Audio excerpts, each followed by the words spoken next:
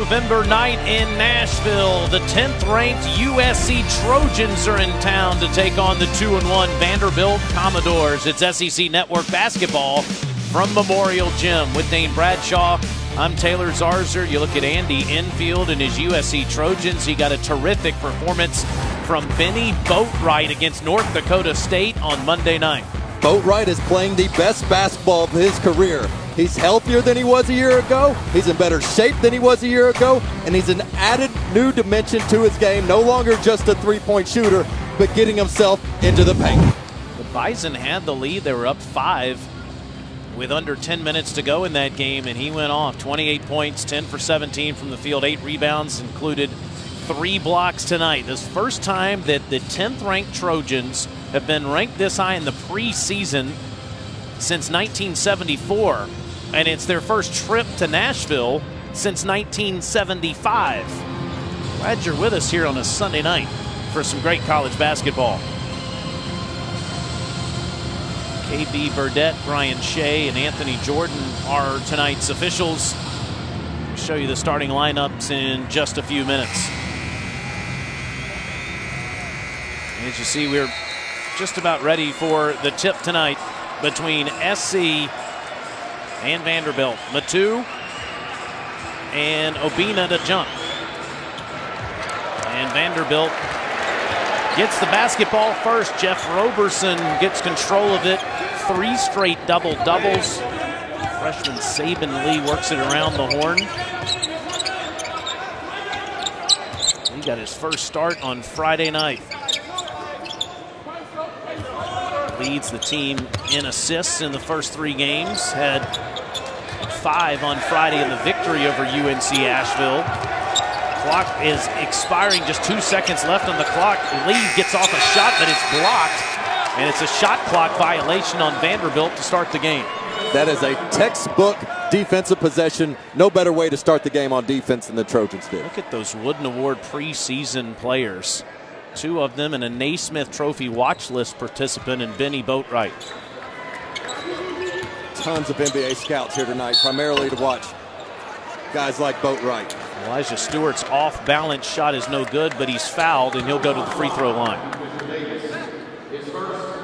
Andy with Saben Lee, the true freshman in the backcourt. Fisher Davis, LaChance, Roberson, the three seniors on the team, and Obinna, the center, will split some time tonight with Djery Baptiste. Fisher Davis drawing the foul there. And first point of the game goes to Elijah Stewart. Needs two more for 1,000 in his career. Sitting on 999.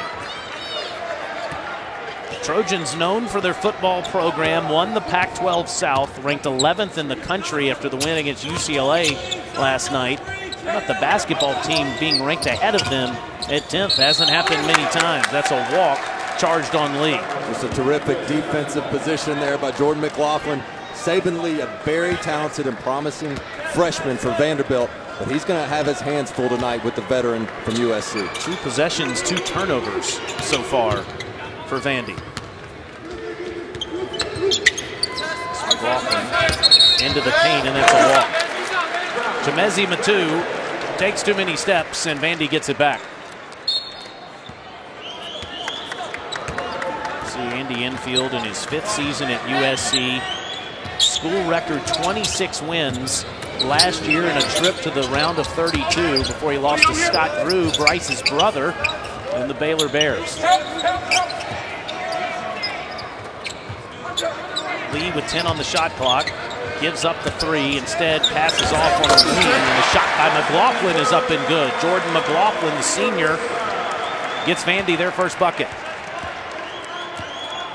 Correction, make that Roberson. Jeff Roberson, of course, a senior from Houston, Texas, who three straight double doubles for him for Vandy. Now in the paint, wide open on the back door is Elijah Stewart, and he's over a thousand career points. Coach Drew's looking to his bench right now because Matthew Fisher Davis has to be locked in. Trying to get his attention to detail and sense of urgency when he plays has been a challenge throughout his career, and it's possessions like that that can cost the team a ball game.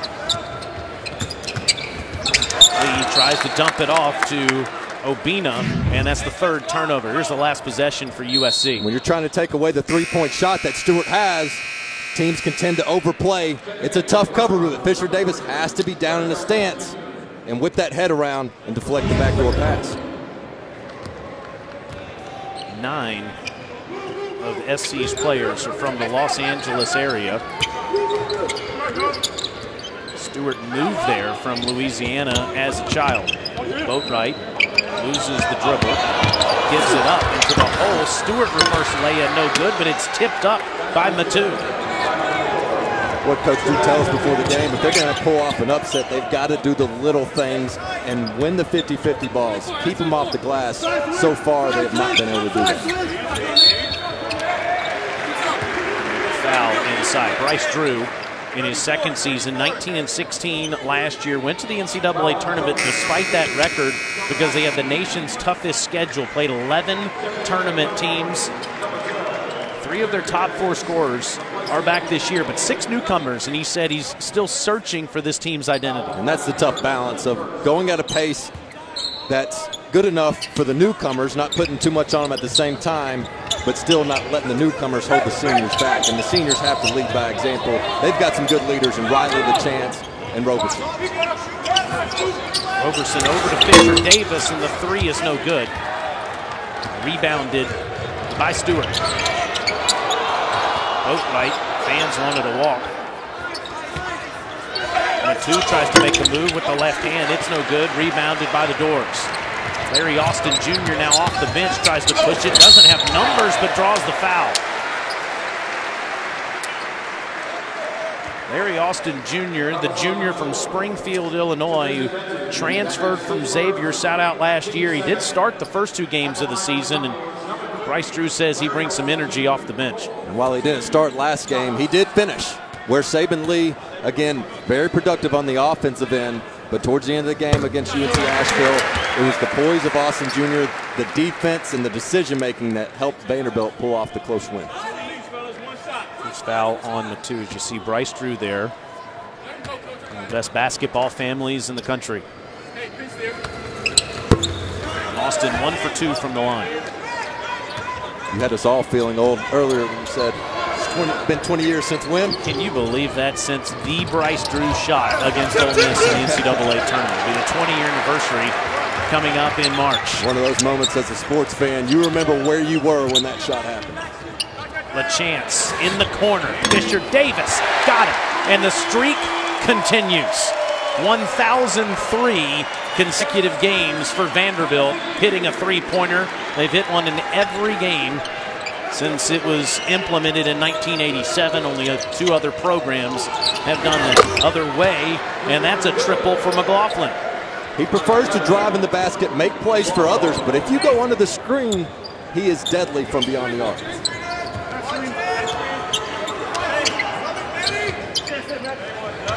Andy trying to answer. No good. 9-6 Trojans with this early lead.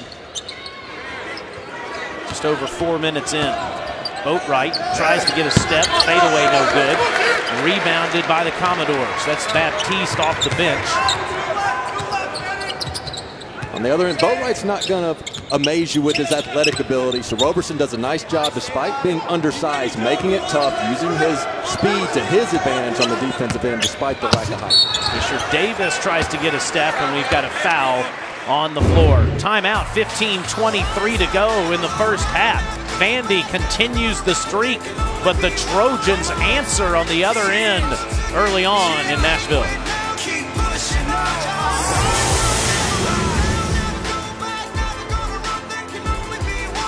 Six Trojans here in Nashville on a Sunday night for some college basketball. 10th ranked Trojans against the Vanderbilt Commodores with Dane Bradshaw. I'm Taylor Zarzour. Dane Bryce Drew's team last year started off slowly, sort of like this season. They lost to Belmont earlier this week, so they've been in this position before. When you have a challenging schedule, you're making yourself susceptible to losing games. And there's no shame in losing at Belmont the way Vanderbilt did because most coaches would never go play at Belmont. In fact, from a Power Five school, they never have. But when you got a guy like Bryce Drew, came from Valparaiso, and knows what it's like to not have any of the big time teams and the Goliaths being willing to take a chance to come play on your home court, that's what can happen. But as a result, last year, they continue to get better within each game. throughout the course of the year, and their strength of schedule and their quality wins is what put them in the NCAA tournament field with this opportunity tonight to win a similar uh, chance. Back door is open, is off the bench. Joe Toye scores, and it's 9-8 Trojans. And to your point, Dane, it's one thing to go play Belmont on their campus. It's, on top of that, Rick Byrd is a legend. He's one of the best coaches in college basketball. And Bryce Drew told us that he had the best attendance the program has ever had. Good pass inside, extra pass to Metu. It's 11-8.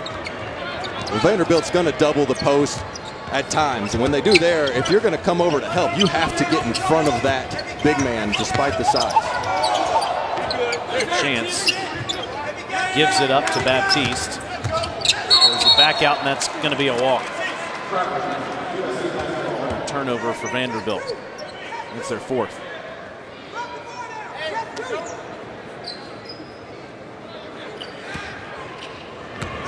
We said in the open, Vanderbilt still searching for their starting lineup. They've tried a few different rotations so far at the beginning of the season. Understandable that that's a work in progress. Pass into Metu with the right hand. It's no good. Rebounded by Roberson, and they push it. Bounce pass, Baptiste off the glass. Very positive sign from Vanderbilt that Joe Toye has come in the game and given them two back-to-back -back positive possessions. This is a young man that had a slow start last year but came on strong late. Speaking of coming on strong, Jordan McLaughlin, man, he is tough. All Pac-12 freshman in 2015, shoulder injury limited him, but since then, he's been dynamite. Fifth turnover, but saved by Roberson. Skip pass to LaChance. And that's what Roberson does. On most teams, that's going the other way. Roberson gets every 50-50 ball. Chance trapped in the corner, gets out of it. Austin with five on the clock, puts it up, no good. Boatwright with the rebound. Trojans up four. Most teams in the country would give anything just to have Thornton or McLaughlin on their team. USC's out there with both point guards. Makes them extremely tough to cover. Way out there, Boatwright misses. Cleared the other way, coast to coast with the left hand. How about that finish there? As Vanderbilt's Larry Austin Jr. comes off the bench, it's 14 to 12.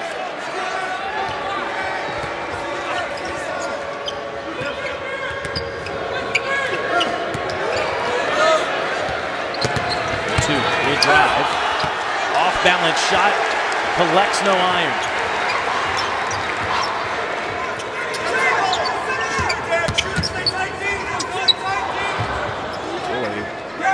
It's just too careless. Almost I mean, you got to get two hands on the ball. That's fundamentals. chance oh. gives it up. Roberson, oh. or rather, Austin Leaner is no good, and the put back in. He has given them a spark off the bench. This Vanderbilt crowd is alive. USC. Yeah, listen to this crowd with 12:24 to go in the first half. Vanderbilt Commodores underdogs to the 10th ranked Trojans tonight, but tied.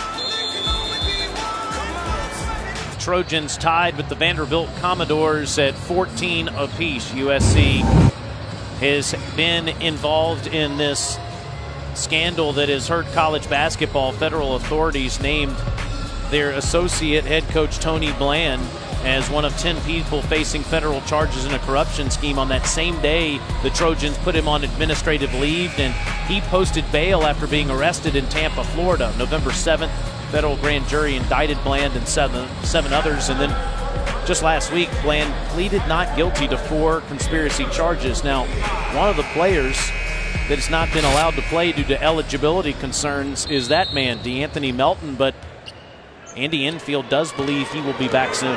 What a talent he is, terrific defender.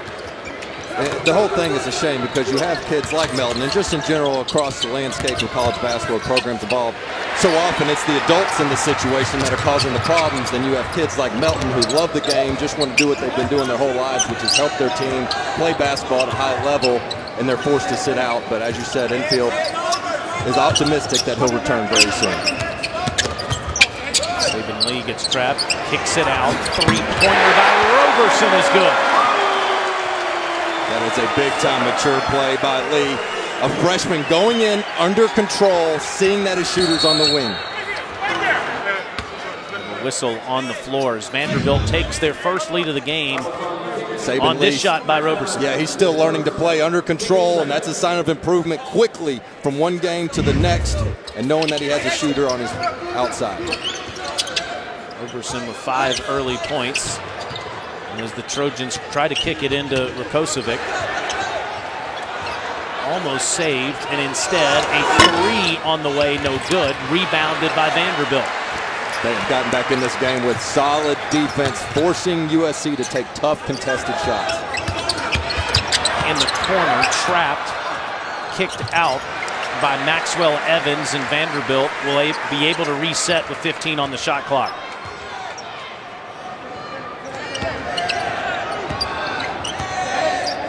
This is Maxwell Evans, and he turns it over.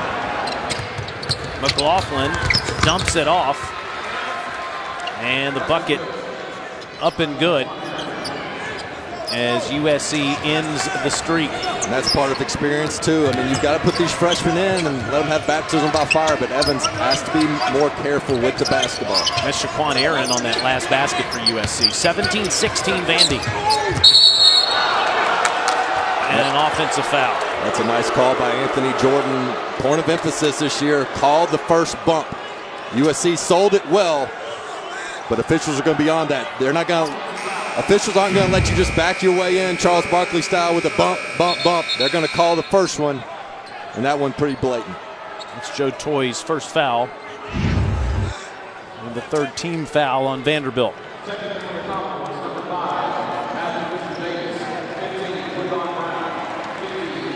So Fisher Davis will check back in. Vandy got some good work from its bench. We mentioned Shaqquan Aaron just a second ago at the last bucket. That's those are the first bench points of the night for the Trojans. Only scored five on Monday night against North Dakota State. Step back jumper, no good off the mark, missed by Derryck Thornton, the Duke transfer. Well, Vandy, who's hit five of their last seven field goals, has it back.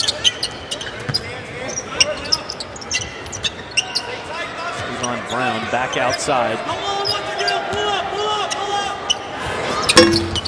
Three off the mark, tipped around, and unable to save it is Maxwell Evans. I like the shot by Fisher Davis, though. You have a freshman guarding you. You're faster than him, so he's giving you a step. If they don't come up and crowd you, step up and pop it. Fisher Davis, one of the prettiest strokes in the country. Missed the Austin Peay game with an ankle injury. Still trying to feel, feel his way through that. He was 0 for 6 from the field against Belmont last Monday. But clearly one of the most important players in the Southeastern Conference, especially to Vanderbilt's success. Trying to make the move to the hole is Stewart. And they called the foul before the shot. Went over a thousand points tonight, fifth all time in threes in USC history with, with 178. Foul charged on Obinna, his first.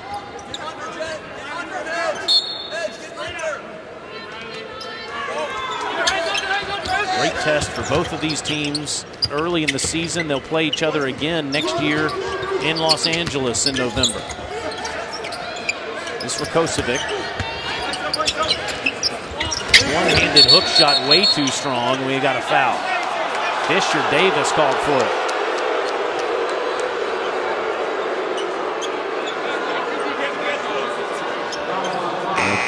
Fisher Davis gets tangled up. Let's see if it's intentional. See if he was cheating a little bit, got wrapped up. Well, gosh, I, I think that's Aaron that really initiated that hook and hold right there. But that's a that's a cagey veteran type play. I had plenty of guys do it to me too, where I got whistled for a foul. They reached that elbow underneath. It's a big Tough call, call. too because it's Fisher Davis's second foul. He gets the rebound here with a little frustration. A nice strong rebound by Fisher Davis, but Bryce Drew unhappy that Boatwright getting called for a push there for a little makeup call. LaChance yet to score. Kicks it inside. And there's a foul. Monday at 7 p.m. Eastern, we'll have Thinking Out Loud presented by Regions Bank with Greg McElroy and Marcus Spears. He'll talk football and want your participation via social media and live call ins throughout the show. It's also available streaming live on the ESPN app. Rakocevic called for his first foul. That's the fourth team foul on the Trojans.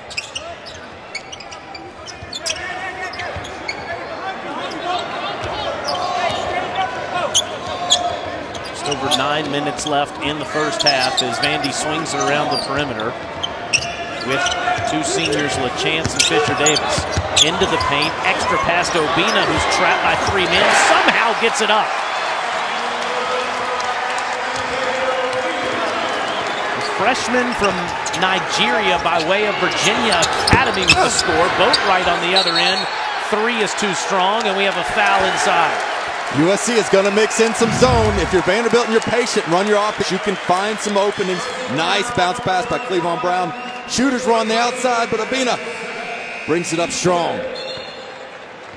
And meanwhile, at the other end, after this Obinna bucket, throws those elbows around a little bit, clear space pretty quickly. Rakocevic was called for his second foul.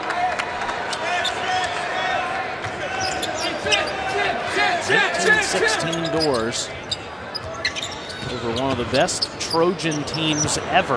Look at their history. This is clearly one of the five best teams they've ever had as there's a foul in, inside.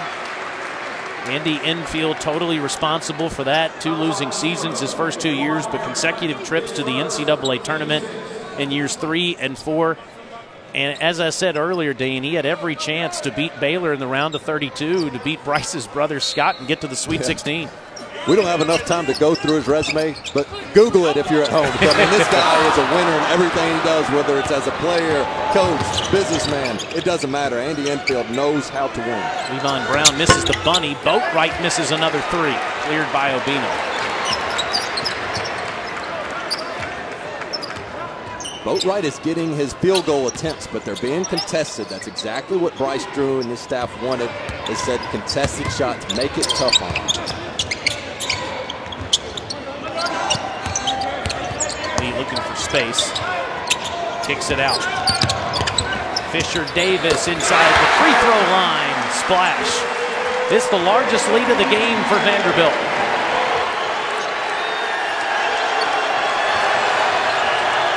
And you hear a little memorial magic for the first time tonight.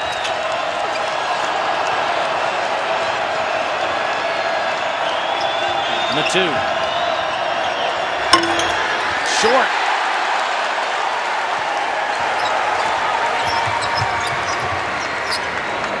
Fisher Davis from way outside, no good, but rebounded by Brown and he's fouled. Fisher Davis shot that from Murfreesboro. Clevon Brown rebounded it, got fouled, and Vandy with the early lead on the 10th ranked Trojans. One of the best cities in the country. Down on Music Row, here in Nashville, where the Doors have the early lead on the USC Trojans, and so far it's been their defense.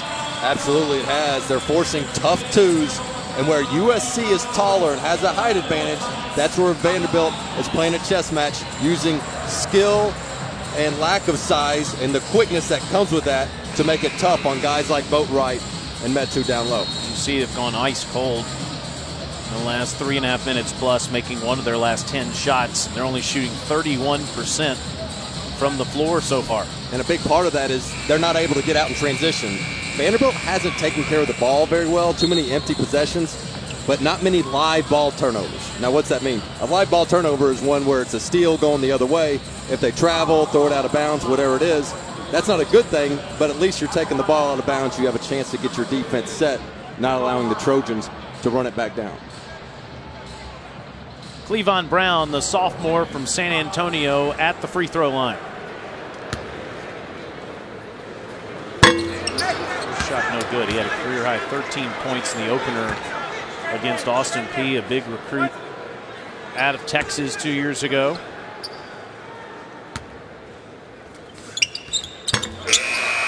Makes the second, it's 22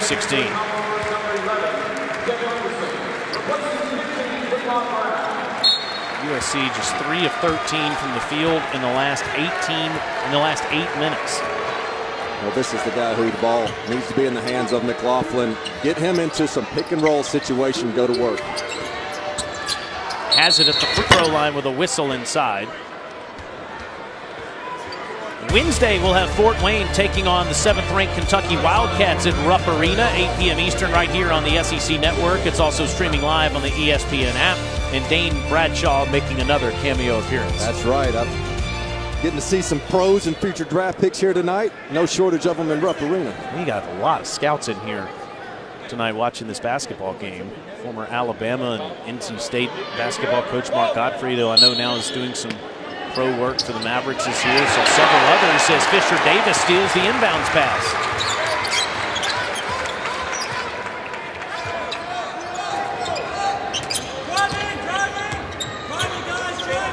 Fisher Davis, one of the three seniors for Vanderbilt.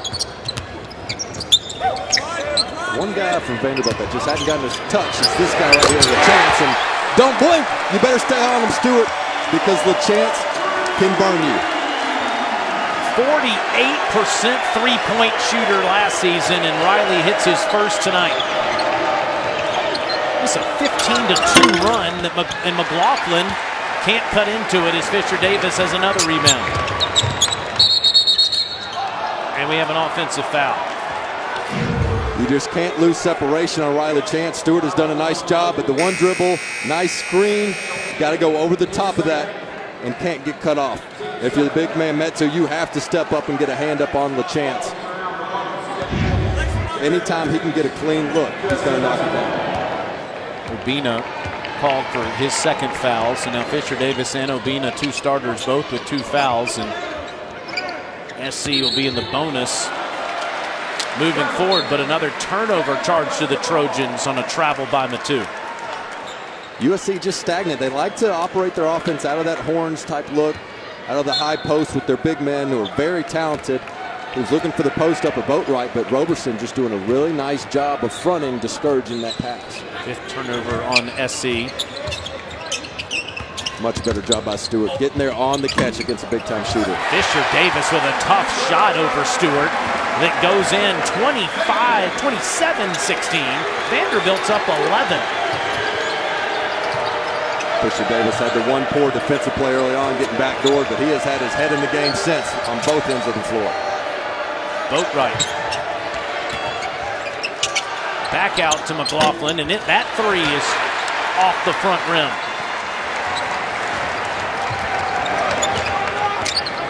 Trojans ice cold shooting tonight. Austin pushes and gets fouled. Not only are they ice cold, but they're they're one and done. Most importantly and the fact that Vanderbilt is taking care of the defensive glass, not allowing any second opportunities.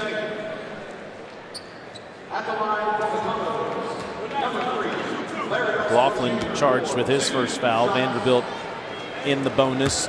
Austin back to the free throw line. Sociology major misses it.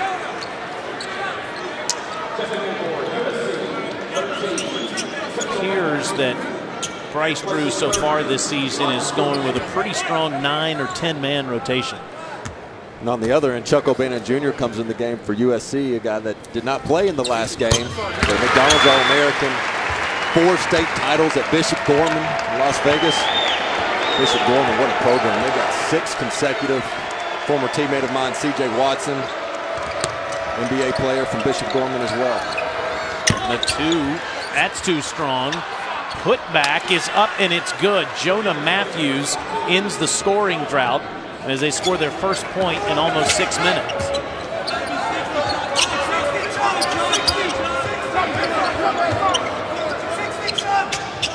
The reason Vanderbilt, there's a reason Vanderbilt likes to put Roberson in the middle of that zone.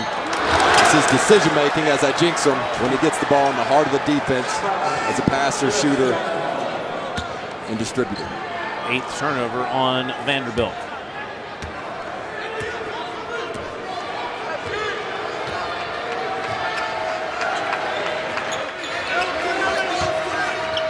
Right to Chuck O'Bannon, but that back to the top of the key now. Mathews, bounce pass to Metu, tries to get a step and flush, and it's no good, goes out of bounds.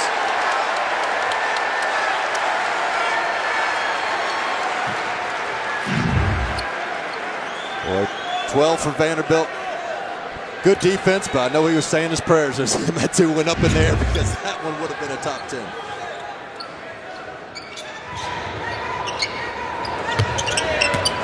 Siege 7 of 24 from the field. LaChance way too strong. Great effort there by Djery Baptiste, but out of bounds back to the Trojans.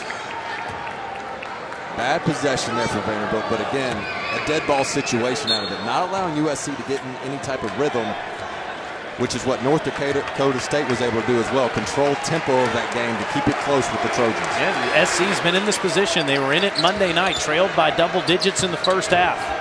Two with a couple of spins, it's no good. Rebounded inside by Roberson. Fisher Davis for three. Yes, sir.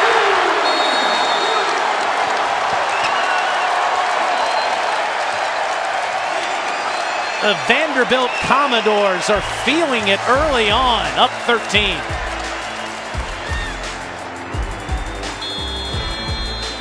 Matthew Fisher Davis has helped Vanderbilt lead USC by 13. 'Dores are four of eight from three. We all, know Fisher, we all know Fisher Davis can shoot the rock. The new element to his game is driving in, pull up. And when he can be a threat from two, all that's going to do is make life easier from the three-point line, where if you don't get a hand up in a hurry, it's money every time. Of course, Fisher Davis, part of that heartbreaking finish to the season in the NCAA tournament. Yeah, the foul towards the end of the game, miscommunication between coach and player, heartbreak, but team supported them. They've moved on. He's Bryce Drew's been really good for Fisher Davis, and he's accepted coaching Fisher Davis is a guy that can make it look easy as a player because he's really talented. But he can also look like he's taking it easy, and it's hard to decipher sometimes which is which.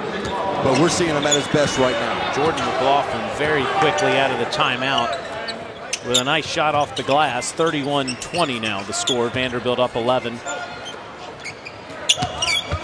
This is Roberson blocked inside by Rakocevic out of bounds. And Vandy will keep it. Kosovic, the sophomore from Chicago, sprained his ankle in that North Dakota State game. Enfield says he's fine tonight. LaChance somehow gets open in the corner and makes him pay. Beautiful pass by Fisher Davis. Nice set play.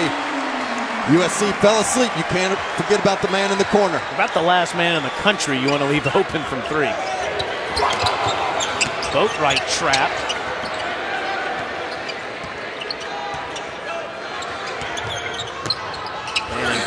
Off the Boatwright, and that's Bennie's first three. He was 0 for 4 from the field before that shot. And again, 28 points on Monday. First three of the game tonight.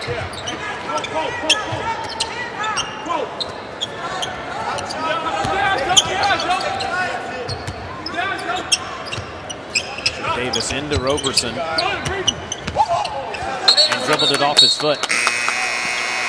Coming up on the college basketball halftime report, Trevor Scales and Seth Greenberg preview the PK 80 tournament. We'll have a look at the NIT season tip-off that Vanderbilt's competing in and have first half stats and highlights. Vandy five of nine from three so far in this one. Both of these teams set school records in three-pointers made last year. Vanderbilt by a substantial margin, almost 50 more than USC. Had one of the best three-point shooting seasons of anyone in the country as Boatwright has hit his last two. And neither team can get comfortable with a lead because of shooting like that. Terrific play. McLaughlin, the senior guard, stretches the defender over, leaving Boatwright open. When you have a pick and pop big man like that, just so hard to defend.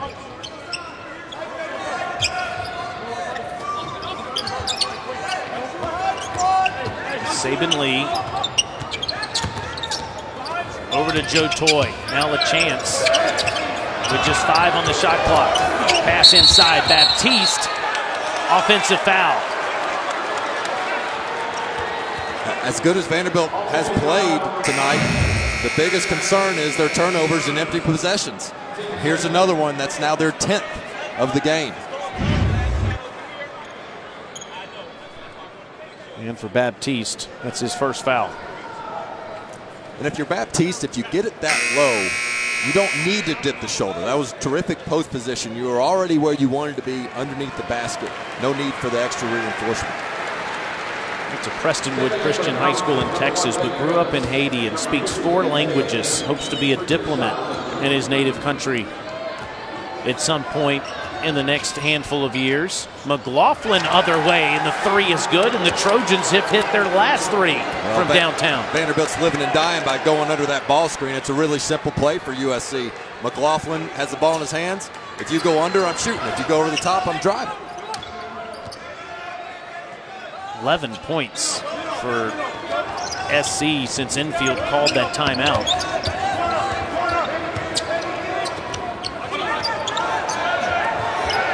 Willis to Toye with four on the shot clock, and we have a travel. 'Dores offense getting bogged down at the perimeter suddenly with 123 to go in the first half.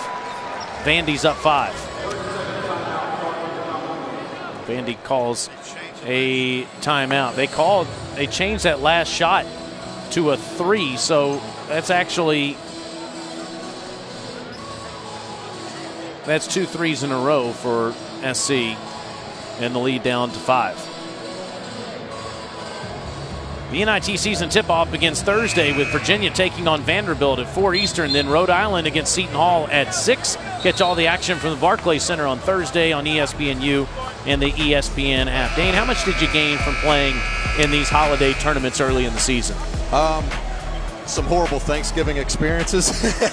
we had a preseason NIT tip-off. It's awesome. You're you're in New York. It's over Thanksgiving, and then we lost two games in a row. But in terms of getting some tournament experience, that is a big part of it. Back-to-back games, quick scouting reports, turnarounds. And that, that's something that coaches love to have that opportunity. Not that it has the same intensity as March Madness, but that tournament setting is a learning experience for the players. 9-0 run, make it 12 nothing. From the corner, Shaqquan Aaron for three. It's real simple. I mean, if you give up open threes and you can't get a shot up on the other end, you're asking for a big-time run against a team like USC. And he just barely gets it across the timeline. And this is where, if you're Vanderbilt, who's your guy to stop the bleeding?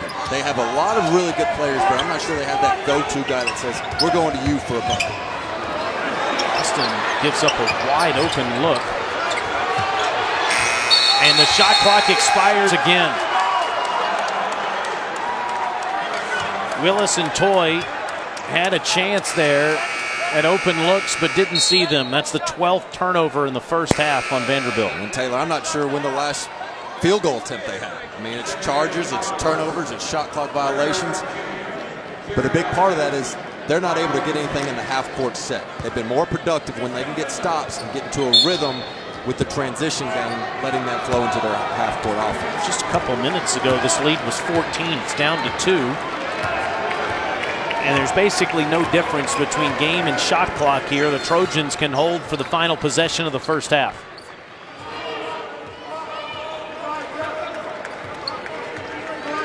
Just because it's a zone doesn't mean you can't still run some ball screen offense. So expect them to do some ball screen. There it is. Try to get something open. Laughlin. Now the three on the way is good. Jonah Mathews gives USC the lead, and they close the half on a 15-0 run.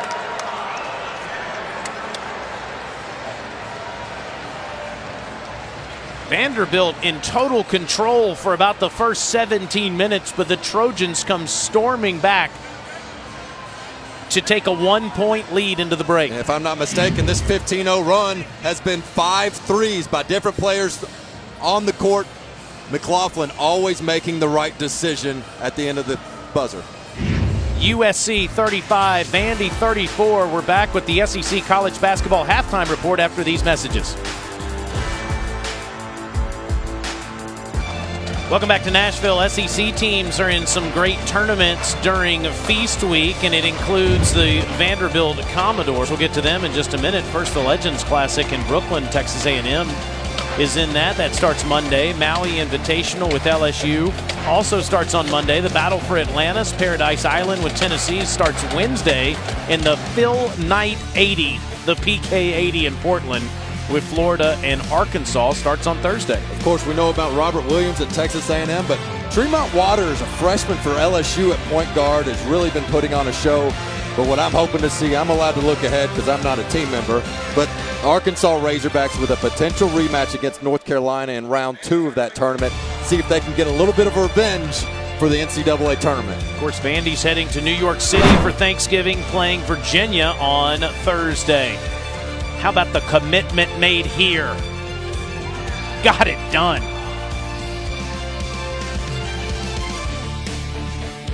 USC closes the first half on a third 15 0 run to enjoy a 35 34 lead as we get ready for the second half here in Nashville, Tennessee, with my friend Dane Bradshaw. I'm Taylor Zarzour, and Vanderbilt was in total control of that game for about the first 17 minutes, then couldn't even get a shot off in the last three. They did everything right in the first half except take care of the basketball. Too many empty possessions is what allowed USC to stay in this game. And then they compiled those problems on the offensive end by leaving way too many shooters open on the other end with USC, a dangerous three point shooting team. We knew both teams were deadly from beyond the arc. And early in the first half, it was LaChance, it was Fisher Davis, and Vanderbilt having their way. But eventually they lost track of the shooters for USC, whether it was McLaughlin, Boatwright, and then Mathews towards the end of the half with a big time play at the buzzer to give USC the lead heading into the into the locker room. USC shooting 42%, Vandy a terrific 59%, and you see the three-point field goal shooting with SC on fire to close the frame, and the points off turnovers as well. Last 333 of the first half, Vanderbilt didn't even get a shot off. That's incredible. I mean, turnover after turnover, whether it was shot clock violation, a travel, or a charge, this Vanderbilt team has to get more production out of their offense. So somehow the Trojans with the lead as we get ready for the start of the second half. Again, this is USC's first trip to Vanderbilt since 1975. Playing Bryce Drew and the Commodores tonight. USC leads the series 4 to 1, but no games since that meeting in Nashville some 42 years ago. And again, it's a home and home that Coach Drew and Enfield have scheduled. Bryce said they've been friends for quite some time.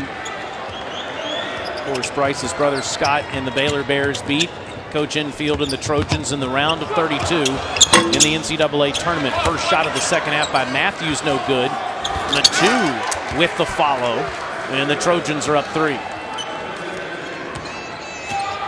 And if you're Bryce Drew at halftime, you have to address the situation that we talked about with the turnovers, taking care of the basketball. But on the other side, you got to say, hey, guys, this is a top 10 team in the country. We're right there with them. We can win this game if we take care of things that we can control, which is taking care of the basketball. So a sloppy start there with Fisher Davis, two careless.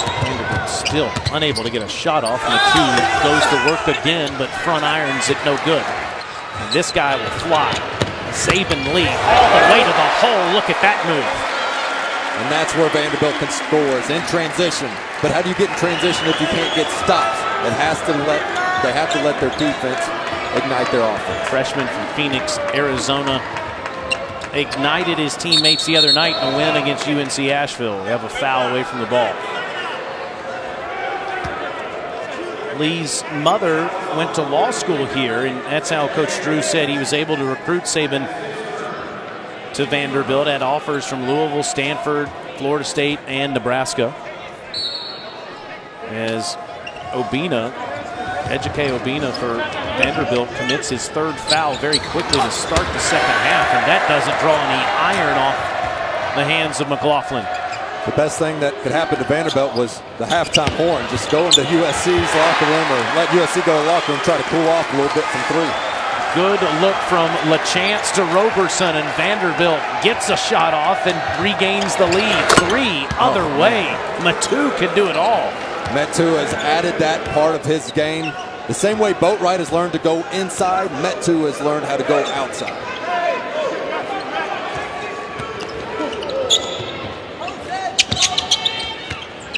In the corner. A chance into Roberson. Kicks it out. Open look after the extra pass, and Fisher Davis's three is off the mark.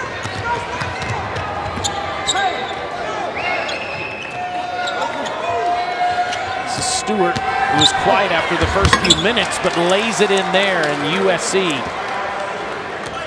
on top. Stewart has really allowed his three-point threat to let him curl these screens that he's getting. Vanderbilt trailing too much. He's had way too many easy looks at the rim. Lead now growing to four.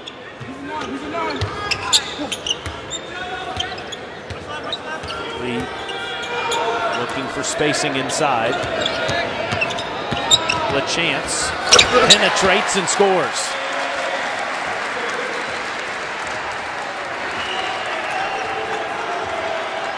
Senior from Brookfield, Wisconsin. has had a terrific career for the Commodores.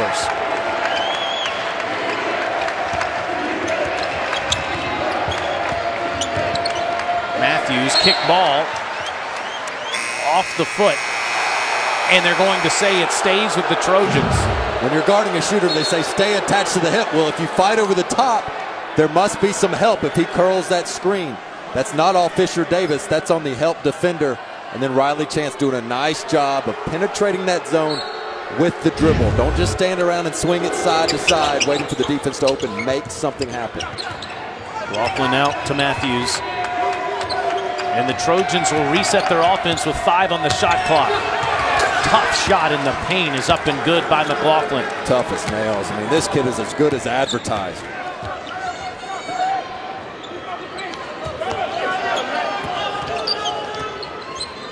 McLaughlin, a three-year captain, graduated in three years. He and Stewart, part of the first recruiting class of Enfield, so they're four-year guys. The first multiple four-year guys US has had since 04-05. Baptiste with the extra pass, no foul called. No, there is one late. A whistle there as there was some contact made on Roberson be on Mathews, his second.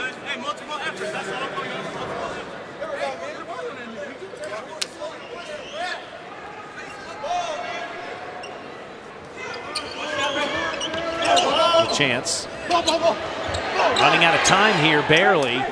Gets it into Lee. Stewart learned his lesson. That open three in the corner, Vanderbilt got out of there, out of bounds set in the first half. They had it covered up with Fisher Davis. Chance Again with a shot inside, but it's one a little short, rebounded by Roberson.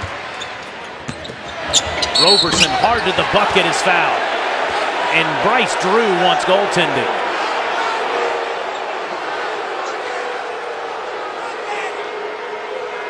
Looks like they're not going to make that call. It'll be a two-shot free throw opportunity for Vandy when we return.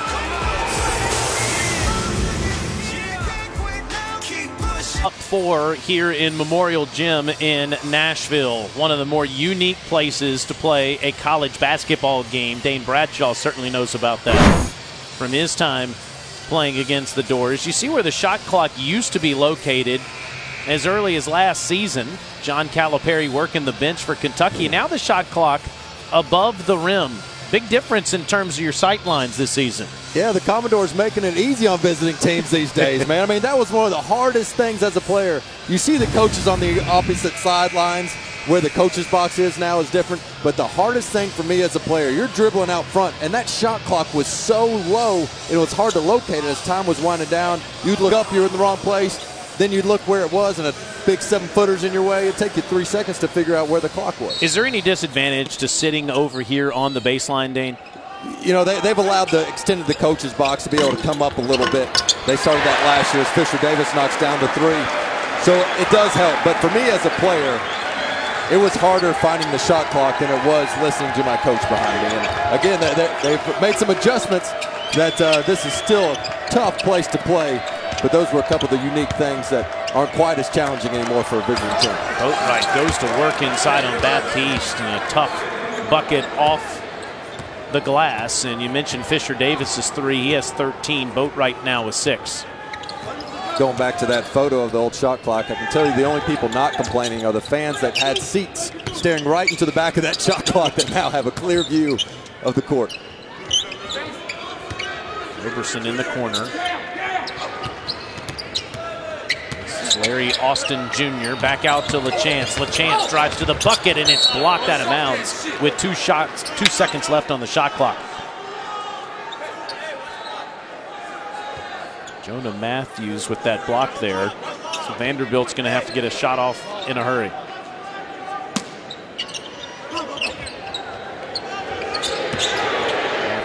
Fisher Davis at the buzzer. Remember when I said he makes it look easy? That was that effortless, sweet stroke he has. One point game.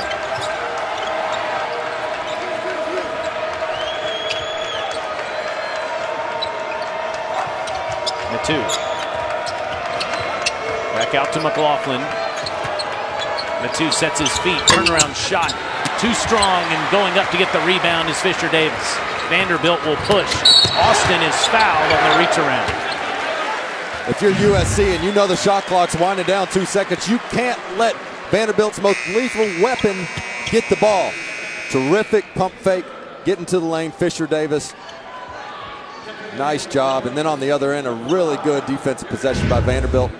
They got burned on it in the first half when they double teamed the post. This time, Riley LaChance slid over, fronted the big man, discouraged that pass. Laughlin commits his second foul. Fisher Davis with 15 points to lead all scorers with the inbounds pass.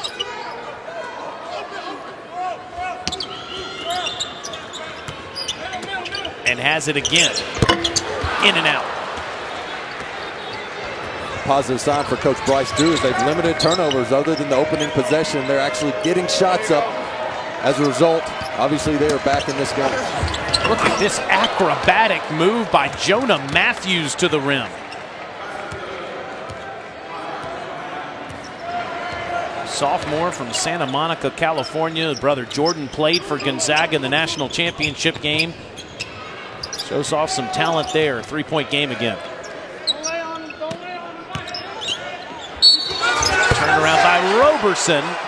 And a foul before the shot. How about this move, move baseline by Mathews just a second ago for SC? Well, he's not just a shooter, he's a driver. You got to cut off that baseline if you're Fisher Davis. Use the sideline as a defender. Too easy. Vanderbilt's been pretty solid defensively, not one of their better possessions there. I mentioned his brother who transferred over from Cal to play one season for the Gonzaga Bulldogs. Came so close to winning a national championship, falling to Roy Williams and the Tar Heels.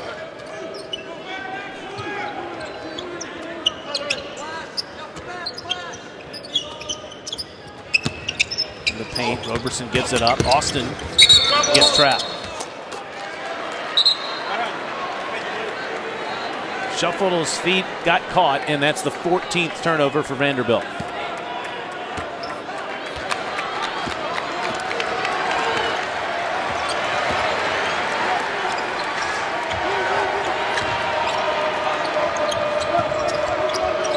Kosovic back into the game. And his shot is off the mark, rebounded by Baptiste.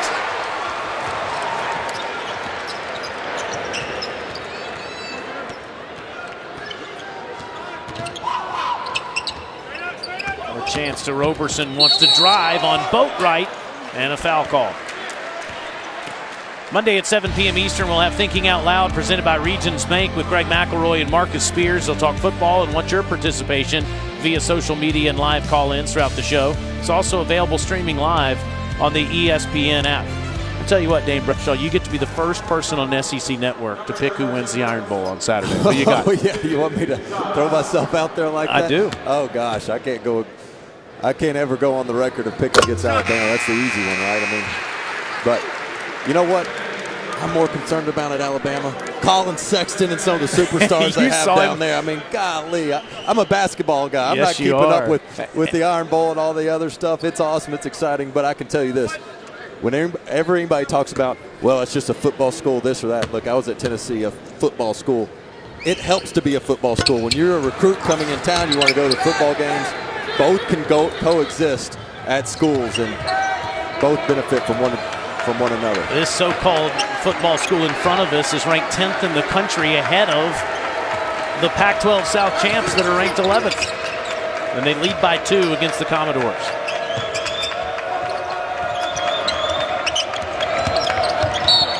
Losing control of the basketball there was Mathews as Fisher Davis got a hand on it. And he's whistled for his third foul. Something to monitor with 12.28 to go in the game. It's the second team foul on Vandy in this half. Spinning around is Metu, and it's too strong.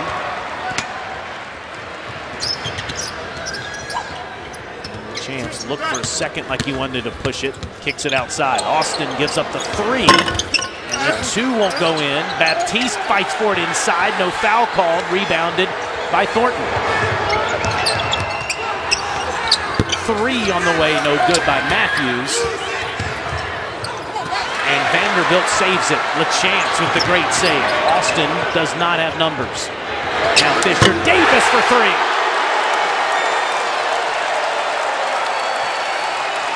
Vanderbilt with the lead back with 11.45 to go. Fifth lead change of the game.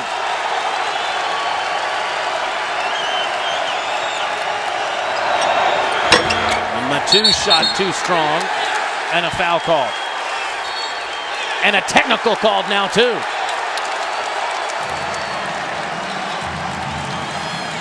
If Vanderbilt can get stops, they'll get in transition. Nobody better to find than Fisher Davis. 'Dores back on top. Vanderbilt has regained the lead. Let's take a look at tonight's good hands play brought to you by Allstate. Too many studs on the court for both teams. We can't just leave it at Fisher Davis. Brilliant shot for him. But on the other end, USC, Mathews takes it to the rack. The up and under avoids the big man, uses the rim as a protector, lays it in. Gone back and forth all half. Man. The Trojans had a one point lead going to the break, but both teams shooting well tonight. Vanderbilt near 56%, while the Trojans have improved to 42% after a cold start. Well, this reminds me a little bit of Kentucky, honestly. I mean, you looked at Kentucky where they struggled against some really good mid-major teams in their first couple games. You thought, man, it could be trouble against a team like Kansas. And Vanderbilt came off to a little bit of a sluggish start early on in their season against some quality mid-majors. You think, oh, USC's in town. This is going to be trouble. But they have hung in there with the Trojans and – this is a Trojans team that many are picking as a Final Four sleeper type program, and well deserved with the accolades and the talent that Andy Enfield has brought and kept in the LA area. Rakocevic commits the personal foul and then the technical foul, and that's why you saw Fisher Davis shooting free throws alone. And now Vandy keeps the basketball. When they get that man behind them Melton back, this team will just keep getting better. Led the conference in steals last season. High IQ player to complement McLaughlin in the backcourt. Off the curl, Fisher Davis, it's good.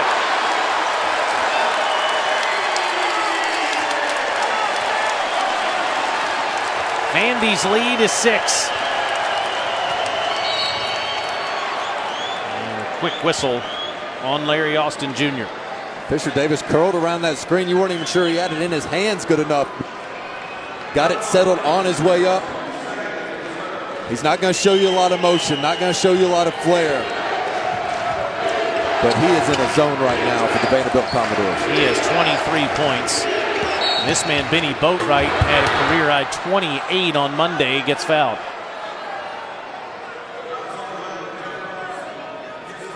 This has been a group effort on Boatwright. You know, they've stayed in front of him. He's not an explosive athlete. He's going to put his head down, try to get past you, and use his size to his advantage. But Vanderbilt has just stayed in front of him, forced contested shots throughout this ball game. Watch out. Metu somehow gets free and finishes with a flush.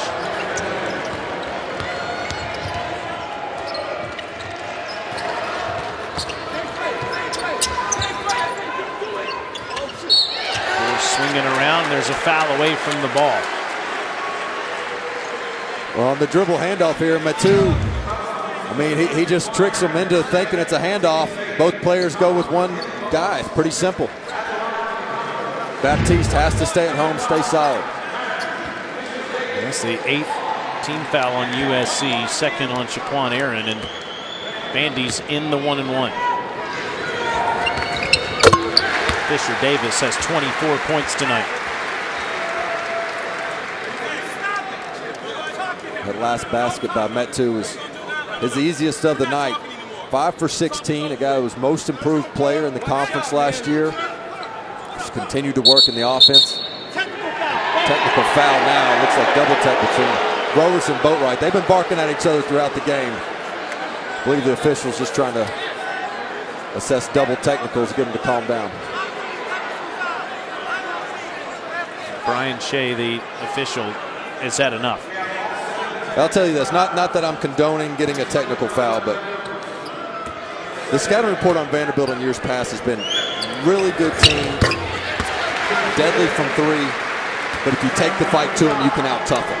That has changed in the past year or so under Bryce Drew, but I think they've also taken on the identity of Jeff Roberson, who's done it all for this team, a senior leader, tough guy, brings his hard hat every game. The lead is six as Thornton's scoop shot is no good.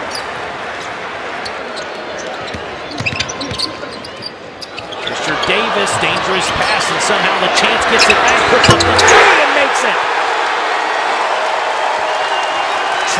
Trojans went for the interception, and it was in the hands of one of the best three-point shooters in America.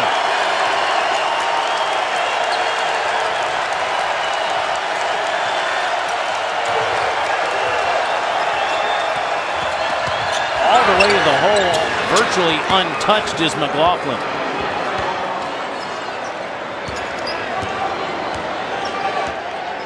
Vandy's lead seven with under 10 minutes to go.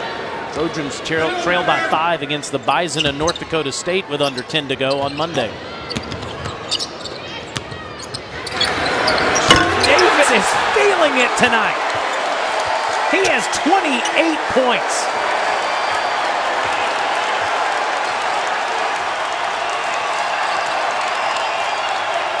Commodores up 10 and boat Boatwright answers. Bennie Boatwright now in double digits with 11.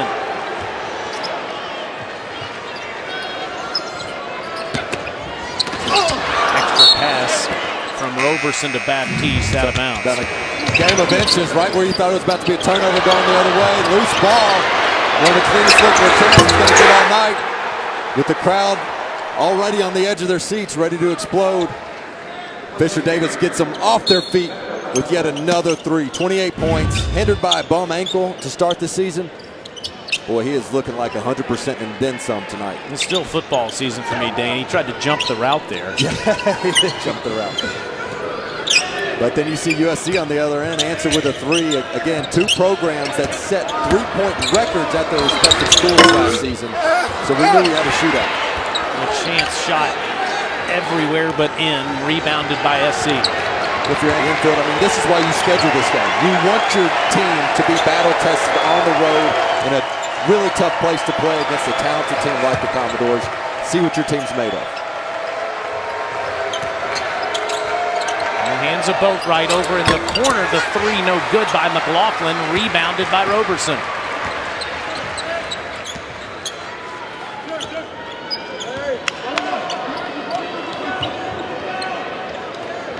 'Dores up seven with just over eight minutes remaining. And Bryce Drew will call timeout. And we'll take the break with them. 8-10 to go in Nashville. The 'Dores clinging to the lead.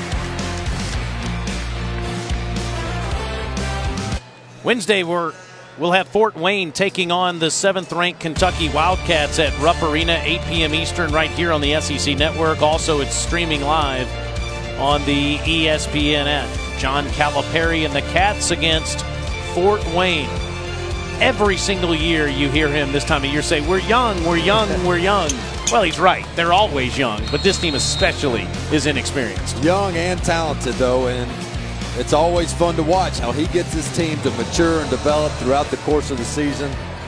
This is going to be the year, a year though, with Kentucky where they might not dominate every game or the SEC when you have the talent of the SEC and guys like Matthew Fisher Davis at Vanderbilt. He's not putting young. up numbers like that.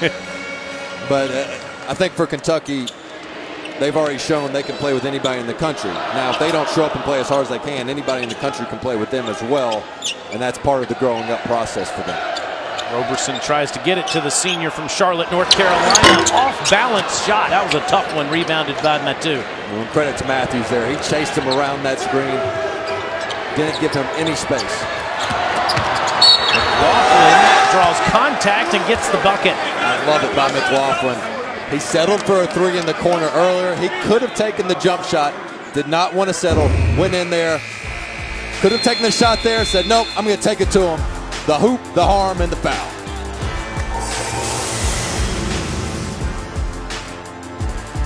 Vandy's up five with 7.47 to go against the 10th ranked USC Trojans. Bryce Drew, known for his great recruiting, got his biggest signee yet from right here in the Nashville area. Darius Garland, one of the top players in the country from Brentwood Academy, decides to sign with Vanderbilt over the likes of Kentucky, Duke, Kansas, and others. Well, if you look at how Andy Enfield has built his program, it's been by protecting the home turf with the stars in the LA area, and no bigger star in this area or the country for that matter than Darius Garland. And when you ask Bryce Drew about him, I'll, uh, I'll, I'll joke with him a little bit here. His eyes light up like he's blushing about some cute girl in school. I mean, he says Darius Garland is such a talented player, can handle the ball, take over a game as a scorer or a passer, and as he said earlier this week, a program-changing type commitment. Laughlin completes the three-point play. That man Austin just committed his third foul. The lead is down to four.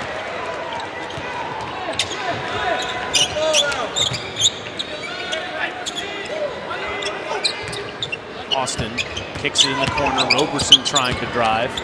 Turnaround shot too strong and rebounded by Boatwright. SC closed the first half on a 15 0 run to grab the halftime lead.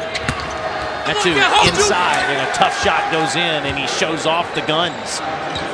That's just a special talent right there. Roberson did everything right.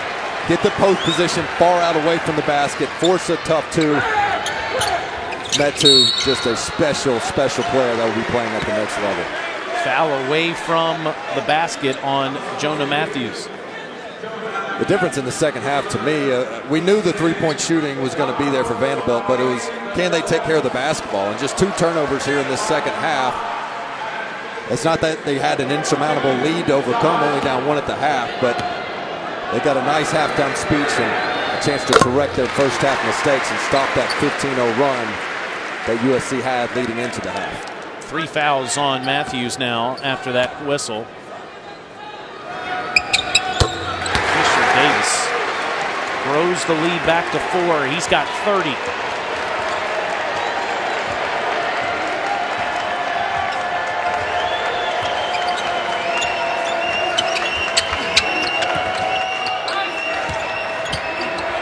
Metu. Off the glass too strong. Fight for the ball, and it's a foul.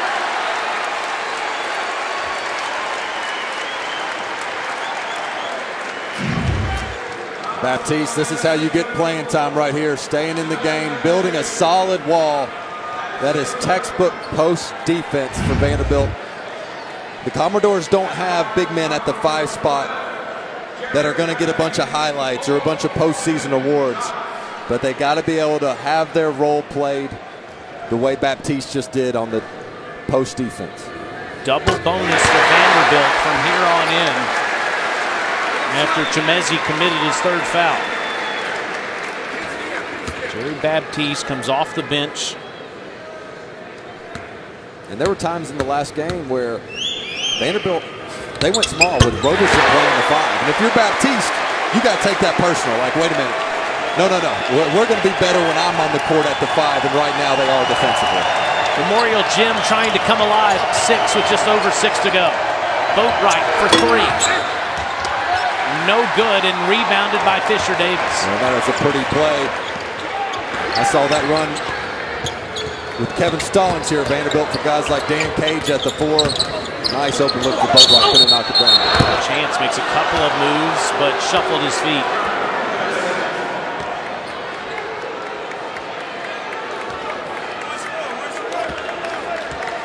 Terrific speed, agility, and quickness for the senior from Brookfield, Wisconsin. Three on the way, way too strong from McLaughlin, and another rebound for Fisher Davis. He's got eight.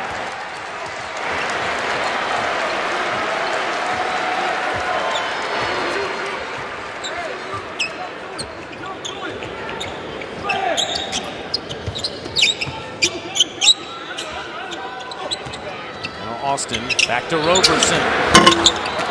Too strong, and the rebound goes to the Trojans. Gives way to Stewart. Now Boatwright tries to make a move on Roberson, and, and a foul is called. And it'll bring up two shots. USC needs more of that. Getting Boatwright into post-up position within 10 feet of the basket to where he doesn't have so much room to cover to try to get all the way to the rack. Roberson, that's three on him. Boatwright already known as a special player, a great shooter at 6'10", stretched the court, but last year really hindered by injuries. This year, he's healthy, but with health, comes better conditioning than you've ever had. It's allowed him to be a more explosive type player than they've seen in the past. Kind of a quiet night so far for him. Just 12 points after 28 six days ago. Five point lead for Vandy.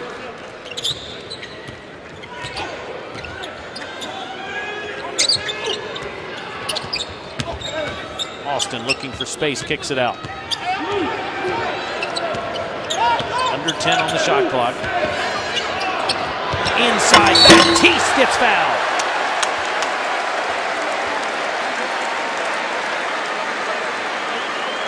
Riley LaChance has played some point guard for this team in the past, and he's showing you he can do it all with this nice dish. And Baptiste continuing to give great minutes for the Vanderbilt Commodores. Second foul on Elijah Stewart. Sends Djery back to the line.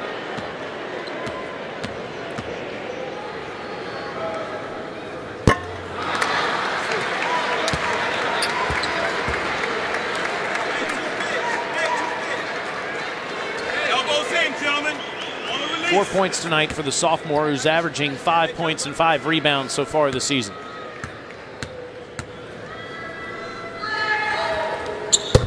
he's right at his average and he gives the 'Dores a six point lead.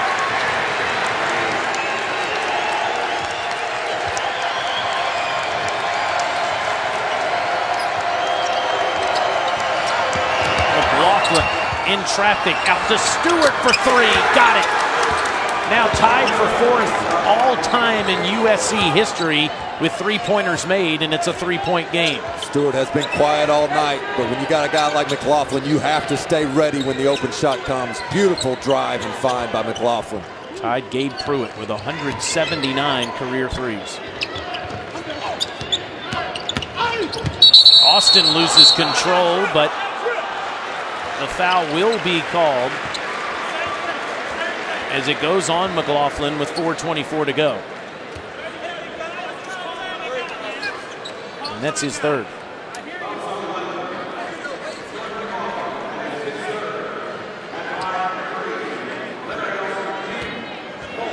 So it sends Larry Austin Jr. back to the charity stripe. He's two for four from there tonight.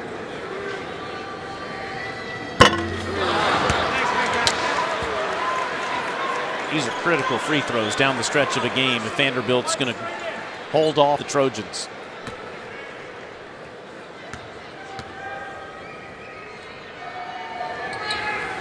And now three for six, and Vanderbilt has a two possession lead.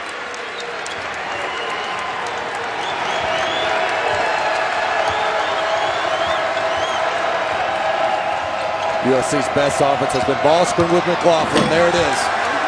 Keep the ball in his hands. Let him operate, operate off the ball screen. If it's not him, try to get Boatwright posted up with better position down low. McLaughlin now with 20 and the lead's down to two.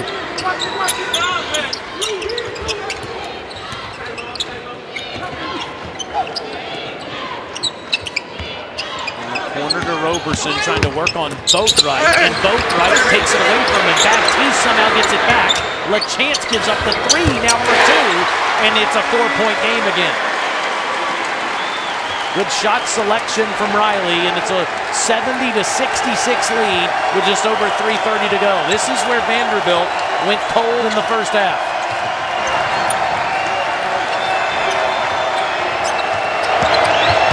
McLaughlin oh! again to the hole, this time contested, but Metu there for the follow.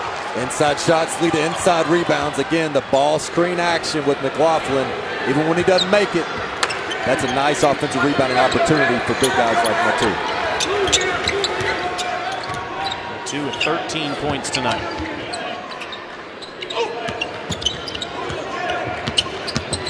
Austin out to LaChance. Six on the shot clock too much dribbling on this possession for Vanderbilt. Mr. Davis gets bailed out on a foul with one second on the shot clock by Jonah Mathews.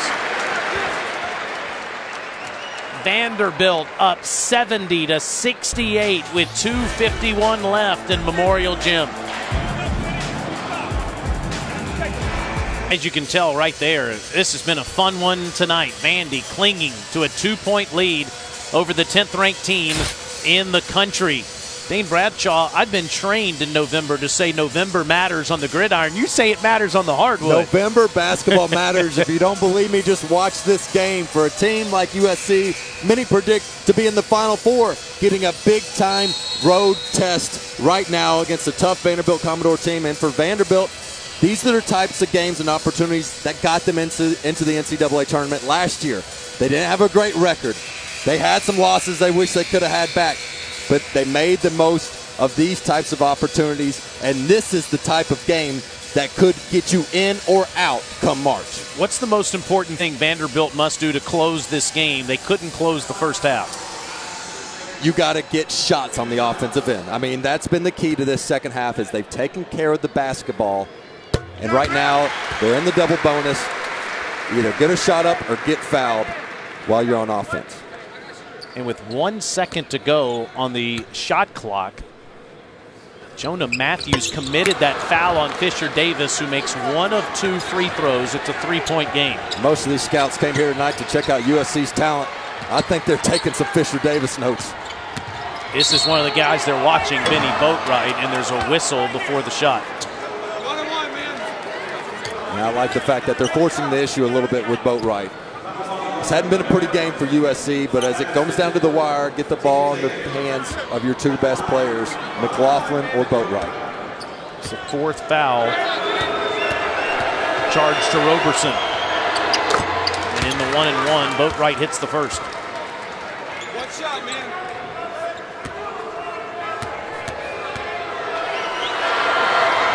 It's a one-point game.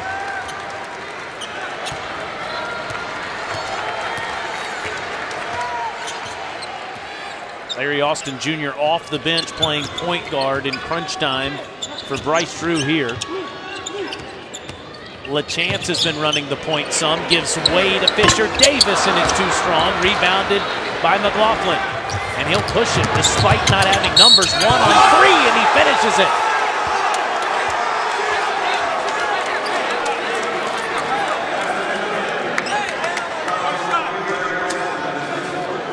Larry Austin Jr. charged with his fourth foul after this move by McLaughlin. USC is so dangerous in transition. That time off the rebound, McLaughlin just takes it coast to coast himself. Somebody has to stop the ball earlier than that. And this is where USC has the edge, not just in talent, but towards the end of the game, experience at the point guard position. Nobody in the country has it as good as USC and Jordan McLaughlin. He has 22 points. The Trojans regain the lead. Wednesday, Danes in Lexington as Fort Wayne takes on the seventh ranked Kentucky Wildcats at Rupp Arena, 8 p.m. Eastern, right here on the SEC Network, also streaming live on the ESPN app. I'll be there Saturday to watch Lamar Jackson in Louisville take on the Kentucky Wildcats. We were just talking about McLaughlin, who has 22 points tonight. Again, a three year captain for this team. Part of the first recruiting class for Andy Enfield. And he has shouldered an extra burden with Melton not being eligible right now to play. They hope to get him back in the very near future, but they're going to rely on him even more than ever in the backcourt. Trying to complete the three point play. McLaughlin is able to do it, and the Trojans' lead is two. But if you're Vanderbilt, I think you feel pretty good with USC staying in this man-to-man -man because they were able to run their stuff and get a good shut off in that last possession.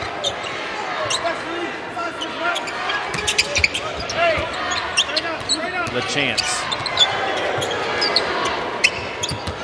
In the corner to Roberson, the one-handed floater, no good, but he's fouled.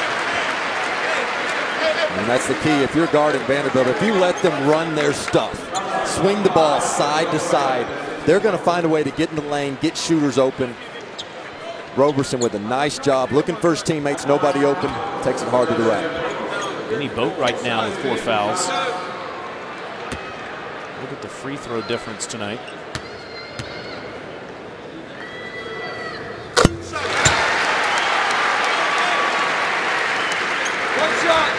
Vandy now 16 of 23 from the charity stripe. Tie game.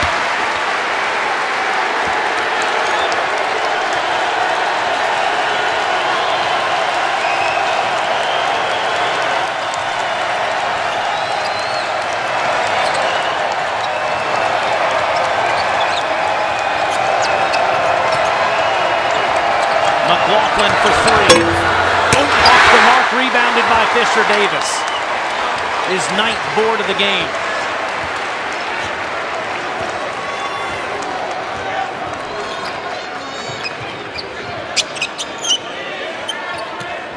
Same play last. They cheated on it.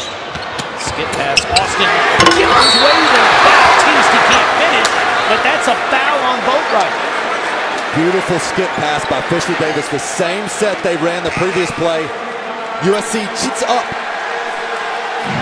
They cheat up as they try to put two on the chance, and a nice job getting the ball to Baptiste. Bennie Boatwright has fouled out of the basketball game with 116 to go.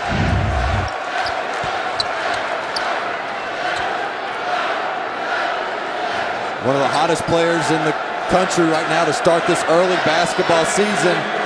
Vanderbilt did their job trying to make it tough on him. He played with great effort, great intensity, just wasn't his night. A lot of that had to do with what Vanderbilt did rather than what he wasn't able to do. But I will tell you, Fisher Davis with those strong rebounds. If you told me somebody on this court was going to have 31 points, 9 rebounds tonight, I would have said it was Boatwright. Fisher Davis, star shining bright right now. Shaqquan Aaron will have to take his spot as you see the frustration on Boatwright's face as Baptiste makes the first free throw.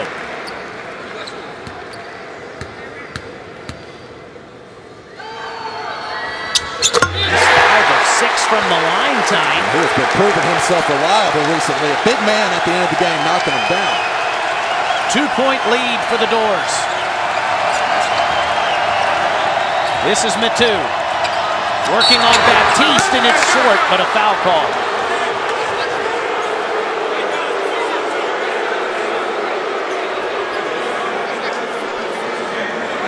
Goes against Baptiste, and it's his second. So now the Trojans are also in the double bonus. And these will be the first free throws attempted by Metu, Metu tonight.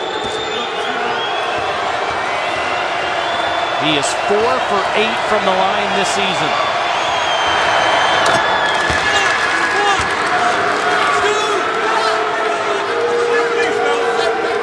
All fight can do is watch.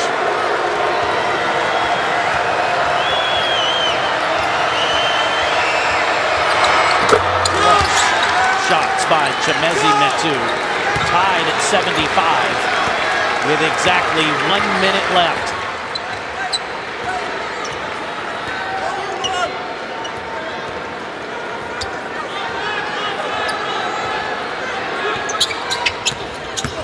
LaChance tries to draw contact and does.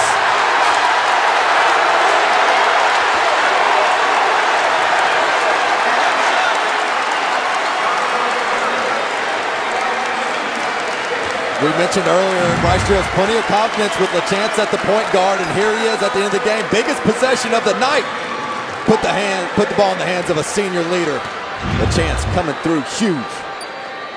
Foul on Stewart. Three-point play the old-fashioned way by one of the best shooters in the country beyond the arc. He's got 16. Timeout, Southern California.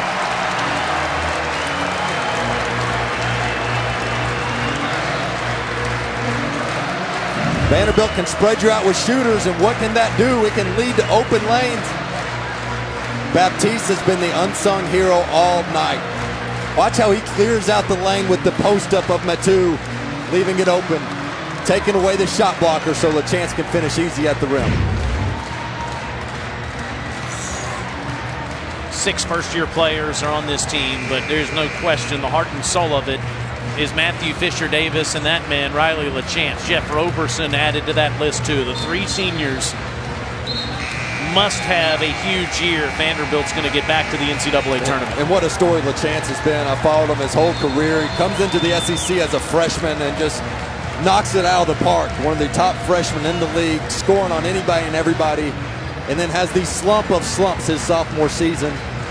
But last year came back with authority under Bryce Drew's leadership, giving him more confidence. And now he's one of the top senior guards in this conference. 94th career start for LaChance tonight. What does USC have to do here without Boatwright on the floor? Real easy. Ball screens to McLaughlin. Let him operate. They're going to go with Metu down low. Metu somehow gets the shot off after the ball was almost stolen away and a foul called against Baptiste. The luxury that Enfield has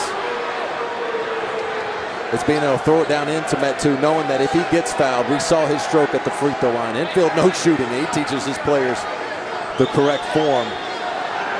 Two big men out there on either team proving it from the charity stripe.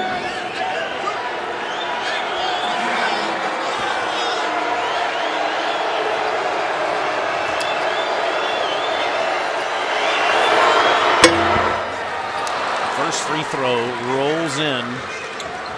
It's a two-point game. And really, since Boatwright went out of the game, they were trying so hard to post him up. And with him fouled out, last two possessions, they dumped it right down in to Metu. Chimezie, their go-to guy on the block, makes it a one-point game with 38 seconds left. Now, do you foul here if you're SC, or do you let Vandy play? Oh, dangerous, dangerous, dangerous pass. Oh, pass oh, to goodness. Austin, who beats the defense. The touchdown pass from 94 feet. You talk about some stones on Ro- Roberson, man. Oh, my goodness. Just because it was open doesn't mean I would have thrown it. Big time pass. And now here's a three on the way by McLaughlin to tie it up. Jordan McLaughlin has 26. It's a career high for him. Tied at 80. Vandy will hold for one shot.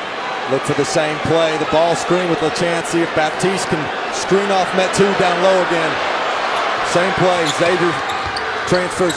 Austin's going to be coming on up. Here's LaChance spinning in the lane. Shot up, no good, and we're going to overtime.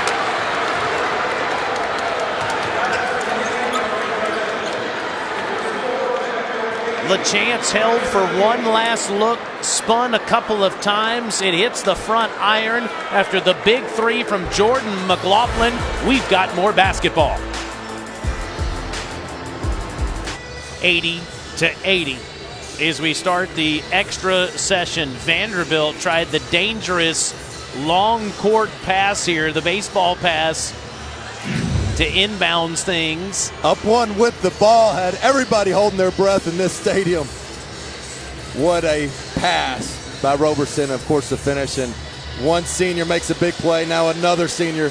Vanderbilt has been going under ball screens all night long, and McLaughlin has been able to make them pay from the perimeter. His previous career high was against Colorado, scoring 25 points two years ago.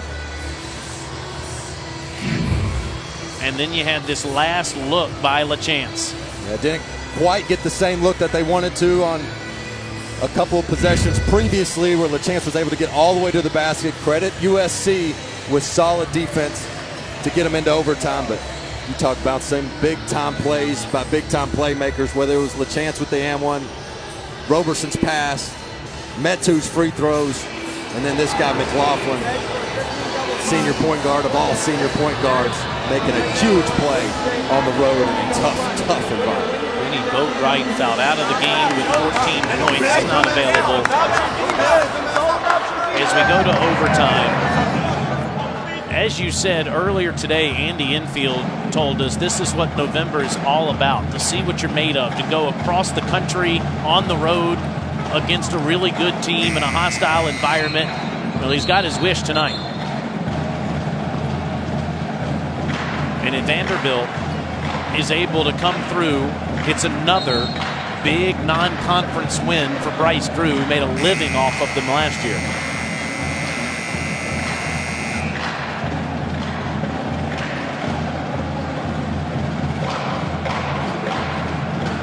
great atmosphere here tonight in Memorial Gym on Ingram Court.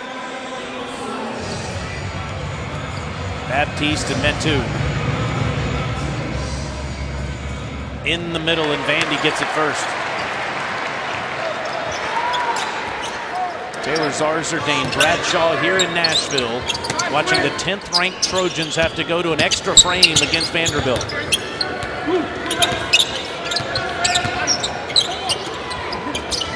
Roberson for three. No good. Very well defended by USC that time. Vanderbilt's ran that set at least three times the last 10 possessions. USC, that's the best they've defended it yet. Swinging it around the perimeter to this man, Jordan McLaughlin, who's had the big night, and that three's on the way and in. McLaughlin with five of them tonight, and he's got 29.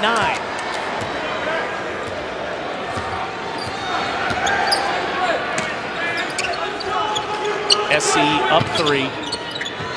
Fisher Davis at the other end, it's short.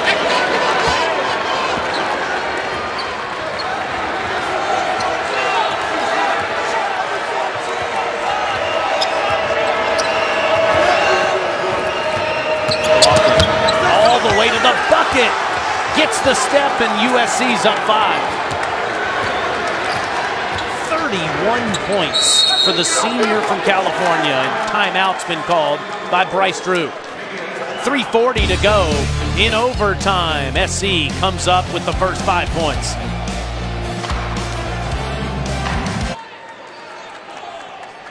USC with the first five points of overtime up 85-80. Bryce Drew calls timeout with 3.40 to go.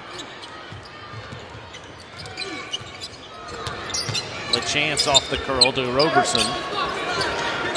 The difference between Vanderbilt's playmakers and USC is they just don't do as much off the bounce the way McLaughlin can. They're trying to run staggered screens to get an open look. USC's athletes and defenders chasing them around everywhere. Five on the shot clock. Off balance by Austin. Too strong. Baptiste gets the rebound, clears it.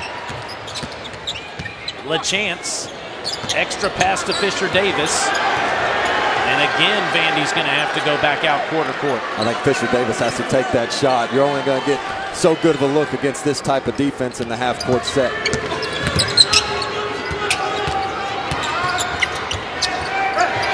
Austin, nowhere to go with the ball. Baptiste bails him out. LaChance with three on the shot clock off balance. No good. Incredible defense by the Trojans. The bottom line is USC has McLaughlin and Vanderbilt doesn't.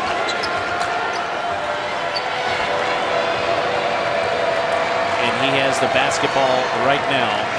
He has 31 points tonight. Same set, little weave action, ball screen with Metu. Nice job by Fisher Davis breaking it up. Fisher Davis tries to get a step on him, and it's no good. USC with their first turnover of the second half and or overtime. But it does not lead to a Vanderbilt basket with 2.10 left. Vandy has not scored in overtime, and SC will call timeout. Let's take a look how he got here. It's been all McLaughlin. Ice in his veins. They have not been able to stop him all night. Whether they go under the screen, over the screen.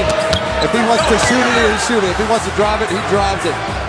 Vanderbilt just has had no resistance on the ball screen defense with McLaughlin running the show at point for USC.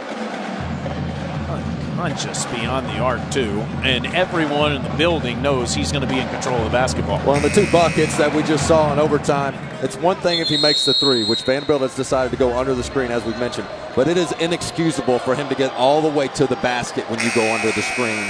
And that's where Vanderbilt must be better. And it's not going to change if I'm Andy Enfield, even though there was a turnover on the last possession, it's just more the same. Keep the ball screen action with McLaughlin and Metu, and let your best players go to work in a two-man game. And he's used to distributing the basketball at a single-game SC record with 16 assists a couple of years ago with 31 points tonight. They try to catch Vanderbilt on the backdoor counter with that action, but they got to find a way to get back in the McLaughlin's hands. There you go. Now Two to the bucket gets free, and the lead is seven. It's the largest so lead athletic. of the game for USC. I mean, at that size, 6'11", you should not be able to spin around a smaller defender with that type of speed that Roberson has. Austin spins a couple of times, puts it up and in, and gets fouled.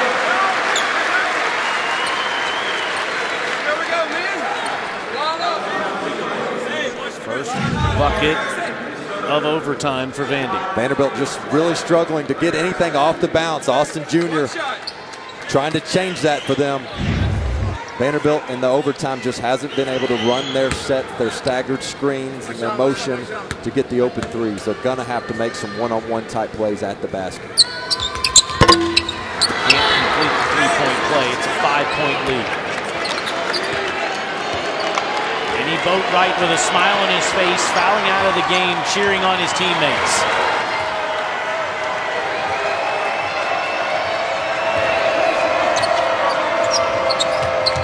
Metu wants to shoot it, makes a move on Baptiste, and look how strong he goes to the bucket.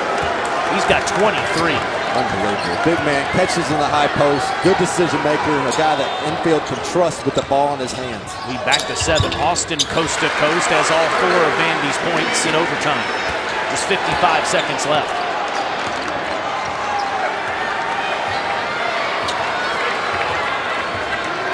Bryce Drew asking his Vanderbilt players to pressure the basketball. It hasn't happened left with, yet with 15 seconds on the shot clock.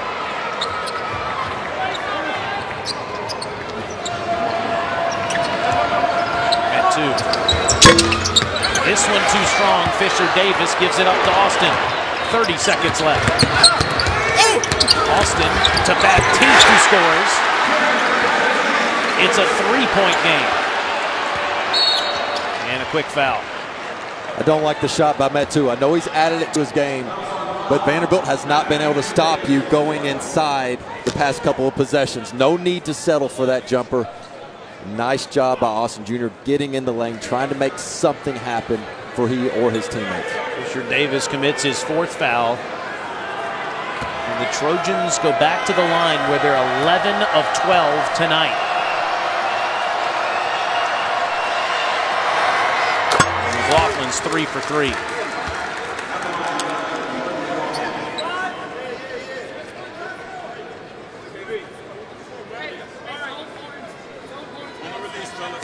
Jordan's 9 for 12 at the charity stripe on the season.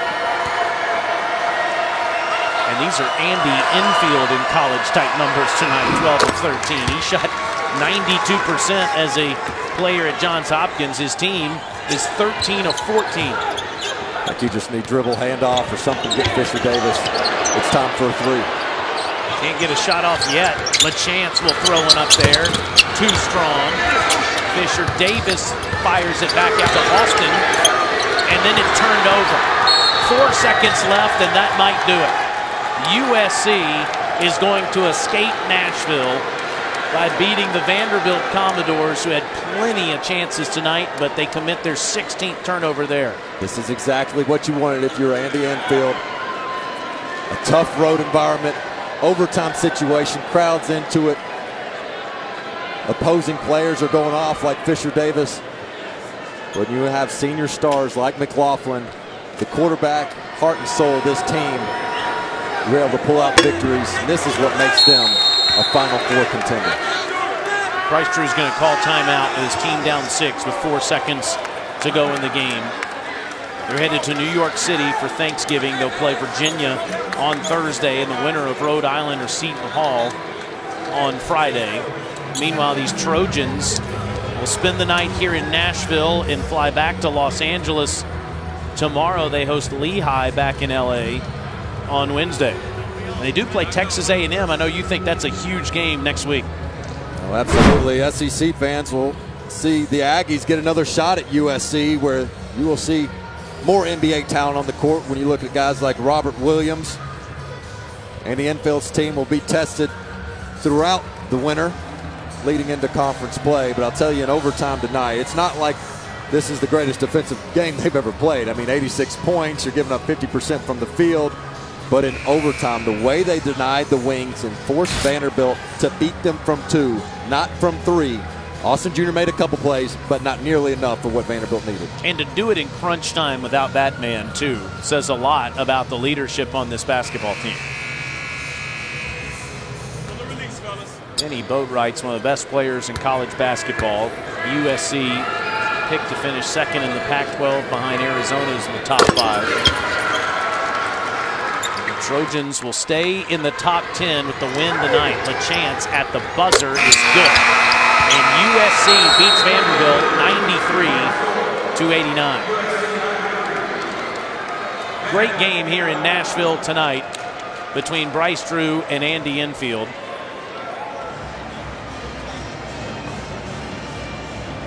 We could do this again, Dane. we got Great our money's game worth on this between one, the. Pac-12 and the Southeastern Conference tonight. Great working with you. Saints travels there to Lexington. USC 93, Vandy 89. Up next, LSU at Tennessee football. Thanks to Brett Walensky and our entire crew in Nashville tonight. For Dane Bradshaw, I'm Taylor Zarzour. You've been watching SEC basketball in Nashville.